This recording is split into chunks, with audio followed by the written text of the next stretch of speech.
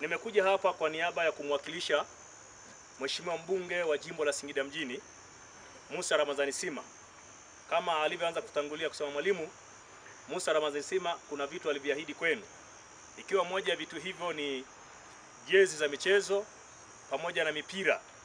Lakini leo hii e, Musa Ramadhani Sima, mheshimiwa mbunge wa jimbo letu, alikuwa anatamani sana kuwepo hapa yeye pia aonane na walimu na wanafunzi wa sekondari ya Mwenge kwa ajili ya kukabidhi zawadi yake.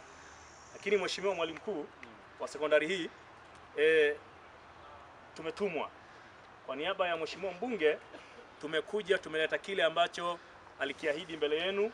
Aliahidi kwa wanafunzi kuwaletea jezi, lakini pia aliahidi kwa wanafunzi kuwaletea mipira.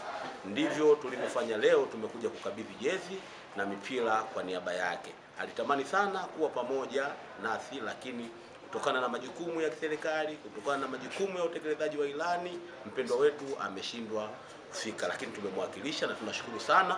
Wanafunzi wa Mwenge, uongozi wa Mwenge Sekondari wamepokea kwa furaha, wamepokea kwa mikono miwili, lakini wameendelea kupongeza jitihada za Mheshimiwa mbunge Musa Ramadhani Sima katika utekelezaji wa ilani, hususani kuhusu juu ya utekelezaji wa au ukarabati wa shule ya Mwenge Sekondari ambayo ulifanyika mwaka jana, akiwa ni mbunge wetu.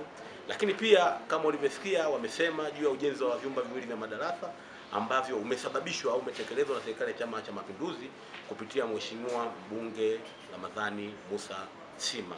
Kwa kweli anafanya, kwa kweli anatekeleza. Mungu ampe nguvu. Tunamshukuru sana sisi wadau wa maendeleo, tunamshukuru sana, aendelee kupambana. Mungu amuongoze katika safari yake, amina.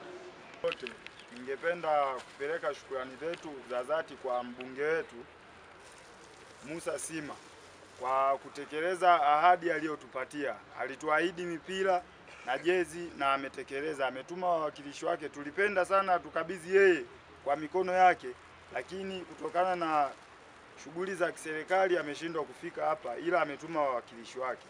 Sisi tuna na sisi tuna tunawaagiza kwamba waende wamwambie tunashukuru sana, tunamshukuru sana na Mwenyezi Mungu aendelee kumba, kumbariki.